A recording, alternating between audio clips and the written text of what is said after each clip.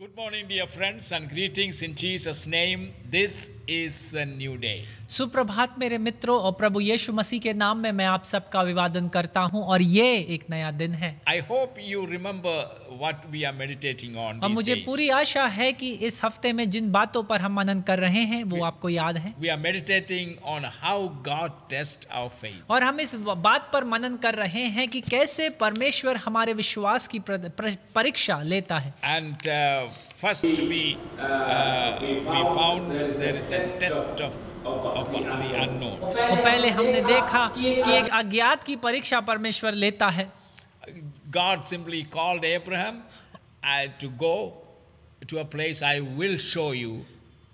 और परमेश्वर ने इब्राहिम को बुलाया और कहा एक स्थान पर तुझे मैं भेजूँगा तू जा निकल जहाँ मैं भेजूँगा That was a test of unknown. और वो एक परीक्षा थी अज्ञात की And the second way of testing is a test of delay.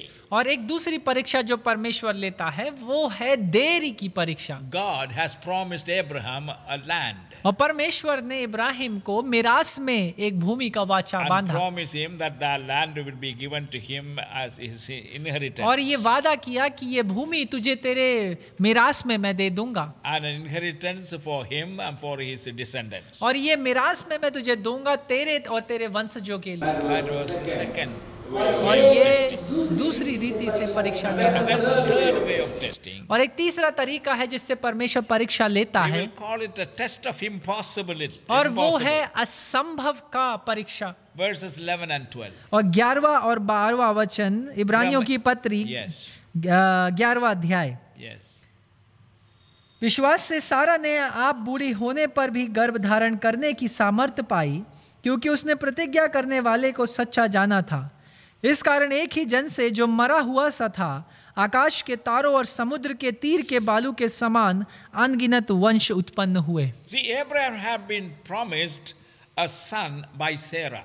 और इब्राहिम को परमेश्वर ने एक वाचा दिया एक वादा दिया सारा के द्वारा मैं तुझे एक संतान And दूँगा God waited so long to bring that son into the world. और परमेश्वर ने काफ़ी लंबा इंतज़ार किया कि वो उस वाचे के बेटे को इस संसार में लाए He waited so long that humanly speaking, it was no longer possible. और वो इतनी देर तक परमेश्वर ने इंतज़ार किया कि मानवीय रूप से अगर कहें तो उस वक्त तक जब ये असंभव हो गया And every time he was tempted to give up, Abraham would remember how God had led him out under the stars. और जब कभी भी इब्राहिम के सामने वो परीक्षा आती थी कि वो हार मान ले तब वो उन बातों को और उस रीति उन परिस्थितियों को याद करता था कि किस रीति से परमेश्वर ने अभी तक उसका मार्गदर्शन किया इन तारों तले standing under the stars,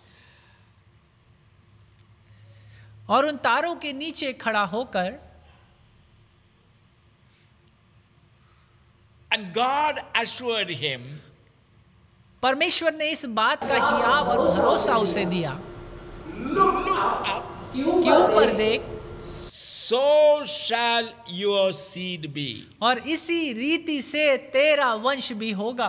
That means the descendants will be like the stars और इसका मतलब था कि इब्राहिम के वंशज उन तारों के समान गिनती में होंगे and Abraham believed the impossible. और इब्राहिम ने उस असंभव बात पर विश्वास किया And we all know God performed it. और हम सब जानते हैं परमेश्वर ने जैसा कहा वैसा ही किया You know how many years Abraham waited? क्या आपको पता है इब्राहिम ने कितने साल इंतज़ार किया 25 years. 25 साल तक उसने इंतज़ार At the age of 75, पिछहत्तर साल की उम्र में when men uh, will stop having children, जब कोई भी पुरुष के लिए बच्चा उत्पन्न करना संभव है. तब परमेश्वर ने वादा किया कि मैं तुझे एक संतान दूँगा But no son came through Sarah. लेकिन सारा के द्वारा कोई भी बेटा नहीं आया Waited 25 more years. और 25 और सालों तक इब्राहिम ने इंतज़ार किया Christian faith is faith in a God With whom all things are possible. और मसीही विश्वास एक विश्वास है ऐसे परमेश्वर पर जिसके द्वारा हर एक बात संभव है Humanly speaking, both Abraham and Sarah had already crossed the age of childbearing. और मानवीय रीति से अगर बात करें तो इब्राहिम और सारा दोनों ने पुत्र या संतान उत्पन्न करने की उम्र सीमा को बहुत पहले ही पार कर चुके थे Christian फेथ मसीही विश्वास is faith in a God with whom all things are possible. एक ऐसा विश्वास है एक ऐसे परमेश्वर पर जिसके लिए हर एक बात संभव है So, what do we do, or how do we handle a faith, the test of uh, uh, the test of the impossible? और इसलिए कैसे हम उस असंभव की परीक्षा का सामना करेंगे By the experience of, we have several, uh, at, at, at- at least three uh, good examples in the Bible. और कम से कम तीन अच्छे उदाहरण हम इस पवित्र शास्त्र में हैं First, it was Abraham. पहला Ibrahim Secondly, it was Manoah and his wife, और दूसरे- parents of Samson. और इसके बाद मनोहा और उसकी माँ उसकी पत्नी जो कि सैमसन सैमसून के माता पिता थे And then in the New Testament, Zechariah, or, or, or a, a priest, और नए नियम में जकीराया जो कि याजक था and his wife Elizabeth. और उसकी पत्नी इलिजाबेथ. और इन सबने अपने संतान उत्पन्न करने की सीमा को कई पहले पा, पार कर चुके थे we have these three examples. और कम से कम ये तीन उदाहरण हमारे सामने हैं nothing is impossible with God. कि परमेश्वर के लिए कुछ भी असंभव नहीं We must always trust this God is the same yesterday, today, and forever. और इसलिए हमें इस परमेश्वर पर यह विश्वास रखना है कि ये वही परमेश्वर है जो कभी ना बदलता है जो जैसा कल था वैसा ही आज है और वैसा ही रहेगा The last test is और जो चौथी परीक्षा या अंतिम परीक्षा है a test of contradiction in revelation of God's will. वो परीक्षा है कि परमेश्वर अपने ही इच्छा को कैसे उसके विपरीत कार्यों को करता है Now, what do we have as an example? उदाहरण के रूप में हमारे पास क्या है The son of promise, Isaac, came. और वाचे या वादे का पुत्र इसहाक इब्राहिम को परमेश्वर ने दिया. और वो अपने मानव रीति से बड़ा हुआ He was a proof that God's purposes would be fulfilled.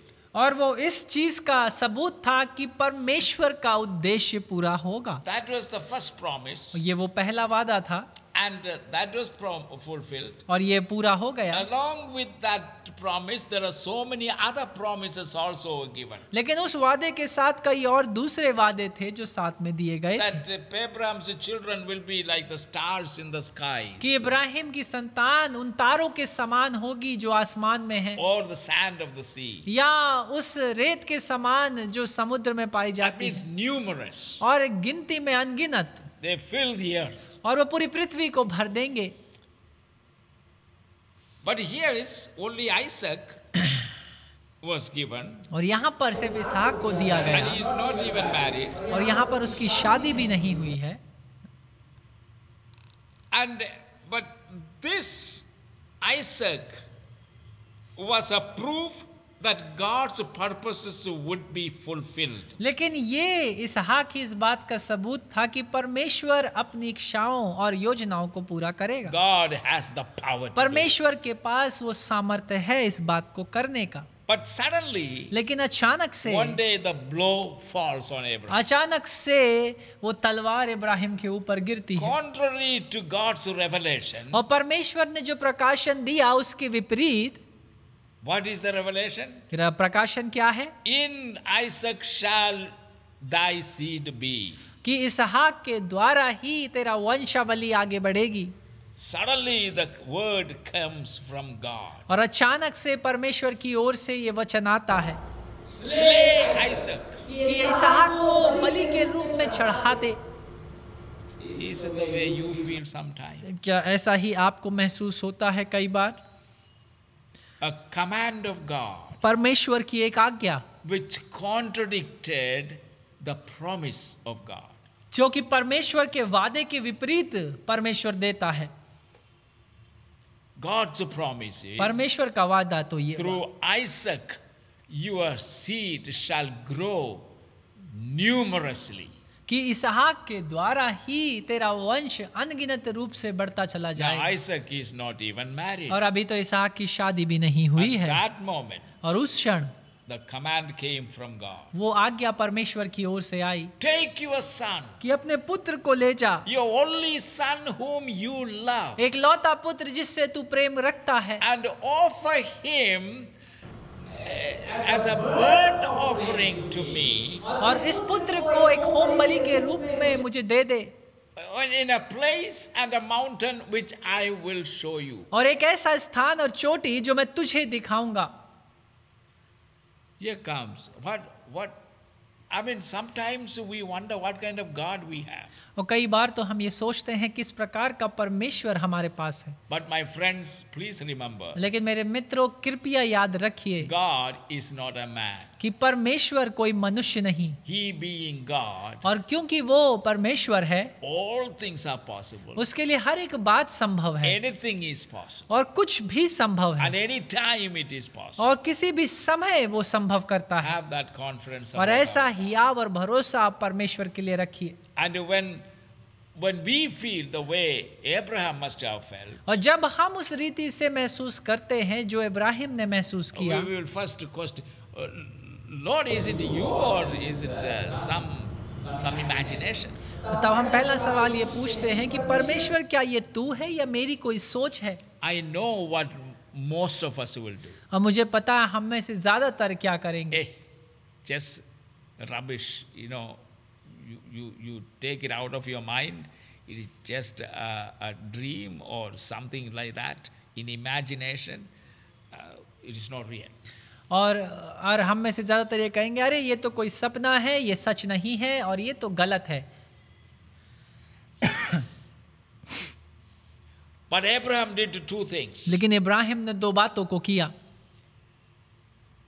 So that's what I'm going to tell you. What are we to do when test of faith comes?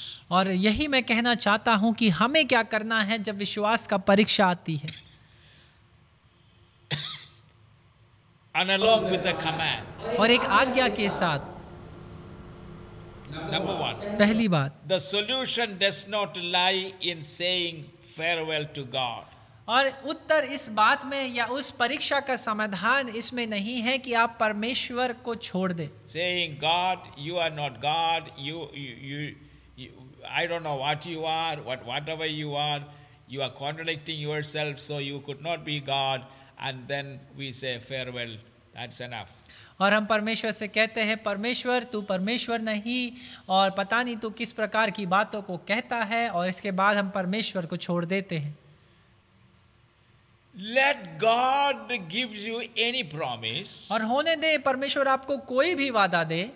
And uh, after some time before the promise was actually happened and given to you और इससे पहले आगे बढ़कर इससे पहले कि वो वादा पूरा हो there comes a command from the same god और उसी परमेश्वर से एक आज्ञा आती है which contradicts the the promise.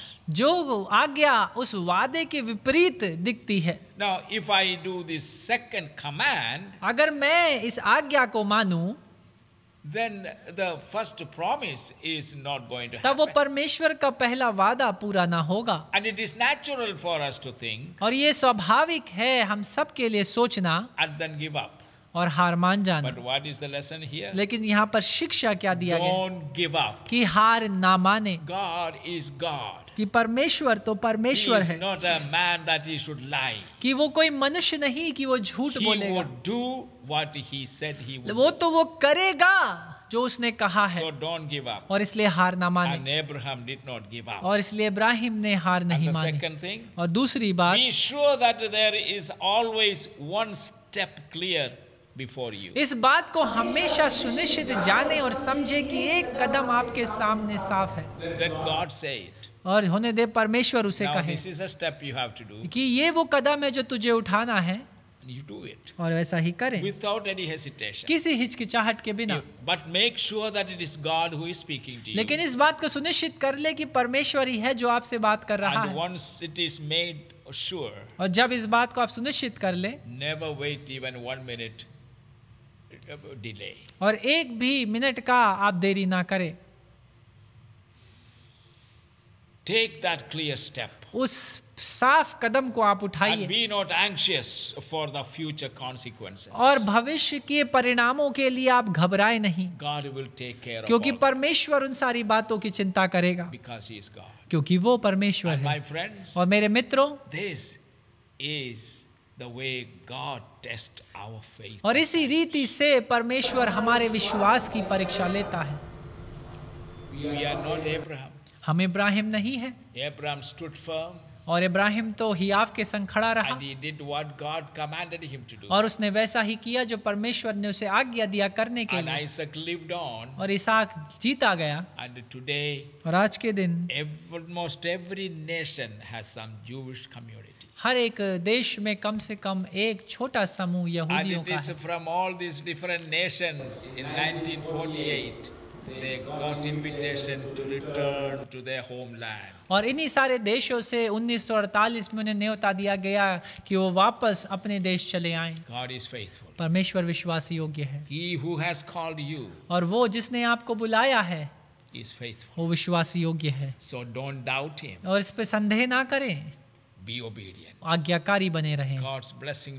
परमेश्वर का आशीष आप सबके ऊपर। हमारे प्रिय परमेश्वर we need the Holy Spirit हमें तेरे पवित्र आत्मा का आवश्यकता है। With the Holy Spirit we can do what sometimes God ask to do और कई बार पवित्र आत्मा के बिना हम उन बातों को नहीं कर सकते हैं जो परमेश्वर पिता हमसे चाहता है the Holy Spirit, लेकिन पवित्र आत्मा के साथ the Holy और पवित्र आत्मा के द्वारा we can do all things हम उन सारी बातों को कर सकते हैं. जो कि दूसरी बजाव से हमारे लिए संभव है करना। Even when God seems to be contradicting और जब ऐसा लगता है कि मानो अब परमेश्वर अपने वादे की विपरीत बात करता है we know that is only testing हम इस बात को समझे और जाने कि वो सिर्फ़ हमारी परीक्षा ले रहा है। May we remain faithful to you Lord होने दे हम तेरे प्रति विश्वास योग्य बने रहें because that's what your word say क्योंकि यही तेरा वचन हमें बताता है। He who has promised you क्योंकि जो वादा जिसने तुझे ये वादा किया है हु हैज़ कॉल्ड यू जिसने तुझे बुलाया है वो विश्वास योग्य है। थैंक यू धन्यवाद। जीसस ने यीशु के नाम। Amen amen God bless you my friend मेरे प्रिय मित्रों परमेश्वर आप सबको आशीष दे। This is a great day ये एक महान दिन है। एंड सर्व द लॉर्ड परमेश्वर की सेवा आप करें। बी फेथफुल परमेश्वर के प्रति विश्वास योग्य बने। उस पर भरोसा रखें। आमेन आमेन